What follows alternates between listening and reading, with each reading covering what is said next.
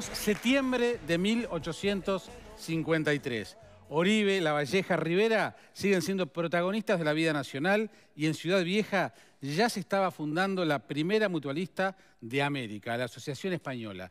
¿Quién iba a decirles a los socios de esa época que 163 años después iban a poder agendar consultas, ver estudios, resultados de exámenes a través de un celular, por ejemplo, desde una tablet o de una computadora? Saludamos entonces a la Española en su mes aniversario y damos la bienvenida al nuevo portal de autogestión de la Española. Si querés saber, entra en www.asep.com.uy o informate por el 1920 7000.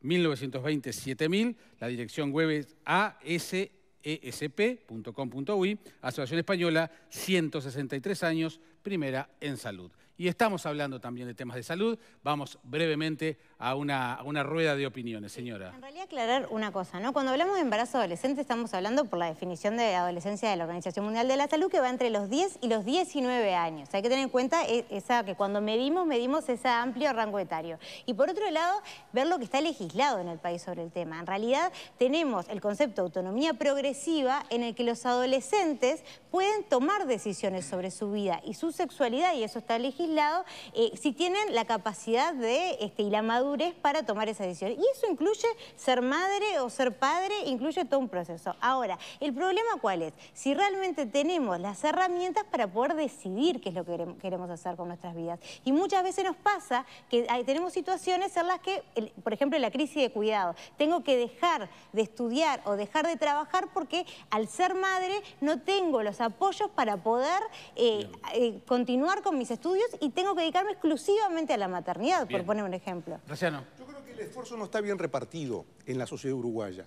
Eh, comparto que el embarazo adolescente tiene, digamos, ofrece rasgos que, bueno, son discutibles y generan problemas pero también es una realidad, lo dicen las estadísticas, que el Uruguay está creciendo desde el punto de vista de la población gracias a que los sectores más pobres tienen hijos. Entonces, el esfuerzo está mal repartido.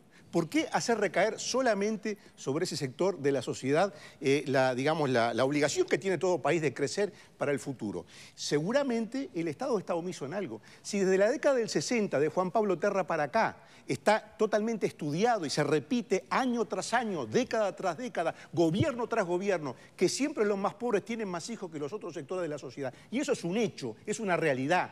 Eh, por más anticonceptivo, por más preservativo, por más educación sexual que haya, esa es la realidad, porque quieren hacerlo así, porque les da sentido a la vida. Si eso es así, y el Uruguay tiene que estar agradecido a eso, la sociedad tiene que colaborar.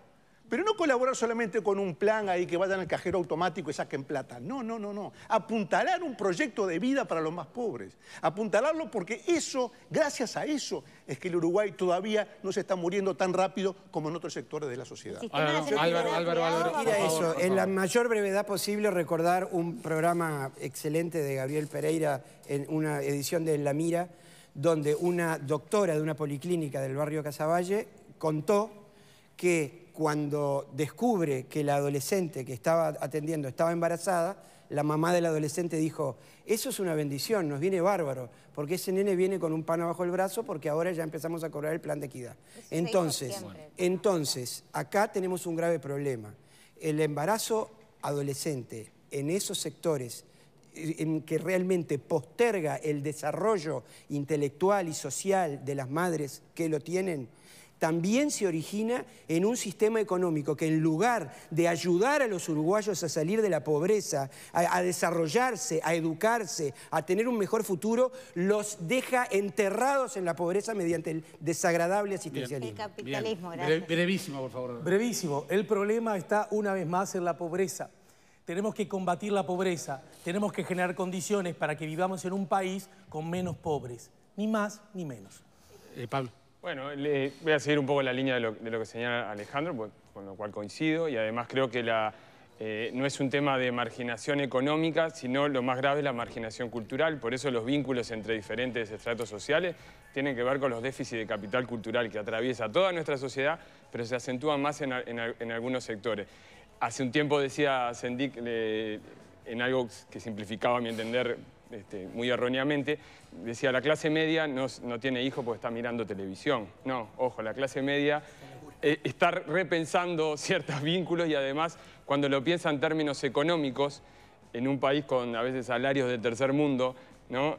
y un costo de vida del primer mundo, este, es muy difícil pensar la paternidad cuando incluso se sacan cuentas y a veces escalonar estas situaciones en las pobrezas, en lugares socioeconómicos deprimidos, a mi entender muchas veces es perpetuar esa marginalidad económica y cultural. Entonces hay que atender, en eso coincido con lo que dice Graciano, fuertemente a planes que apoyen de alguna manera, pero tomar conciencia de que a veces, y yo lo veo como docente, es mejor que en determinadas franjas de edades las gurisas se formen desde otro lugar antes de estar teniendo este, hijos y estar pensando en una maternidad que a veces eh, ni siquiera alcanza ciertos visos de responsabilidad y empobrece más culturalmente y económicamente a, su familia, ¿no? Y a ella misma. Diez segundos, Marta. yo, lo que quiero es decir que en 16 años ninguna mamá que se acercó a nosotros decidió abortar. Salió adelante con sus hijos y han salido adelante y han salido bien. Y quiero decir, por favor, que no haya tanta indiferencia,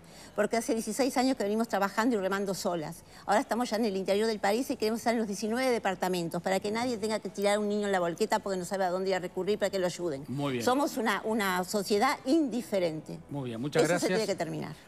Verónica Chavalí, me tengo que ir para la radio. Contame el resultado. Corriendo, 58% de los televidentes opinan que no creen que los adolescentes están bien informados con respecto al embarazo y un 42% dice que sí. Muy bien, muchas gracias. Gracias a todos. Gracias por venir, gracias por colaborar. Nos encontramos mañana aquí en la tele, en vivo, con Esta Boca es Mía.